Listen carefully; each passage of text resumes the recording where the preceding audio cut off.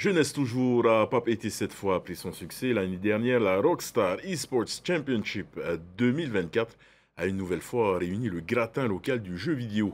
Plus de 200 fans se sont inscrits sur différentes disciplines avant une grande finale prévue le 4 octobre. Ce week-end, les spécialistes du football sur petit écran avaient chaussé leurs manettes pour s'affronter devant la caméra de notre journaliste Nicolas Pérez, lui-même ancienne gloire du PIA FIFA Club.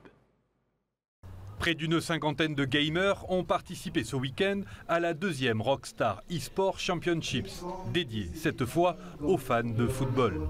Pendant tout le mois, ces virtuoses du joystick made in Fénois s'affronteront sur plusieurs jeux vidéo avant la grande finale. Toutes les semaines, euh, pendant le mois de septembre, il y a des phases de qualification qui vont élire les deux meilleurs de chaque discipline. Et les deux meilleurs se retrouveront le 4 octobre à la présidence pour avoir euh, un match qui décidera de qui est le champion.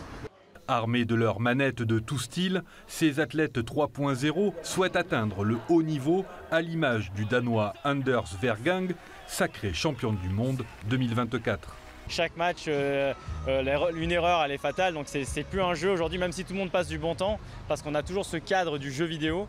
Mais euh, il y a quand même à la clé 150 000 francs pour chaque gagnant.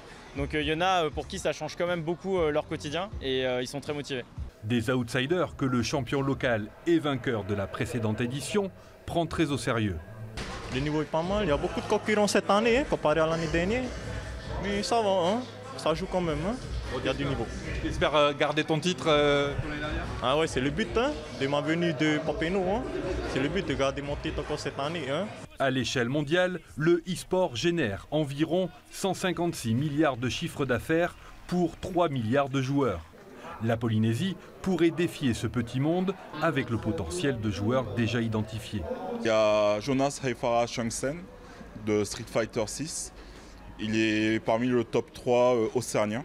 Si le pays euh, nous soutient, nous pourrons développer euh, cette catégorie particulière de sport d'élite. Et c'est notre objectif de pouvoir représenter la Polynésie française sur des compétitions internationales. Rendez-vous donc le 4 octobre prochain sous le chapiteau de la présidence pour connaître les grands vainqueurs. Ils se partageront 1 500 000 francs de prix.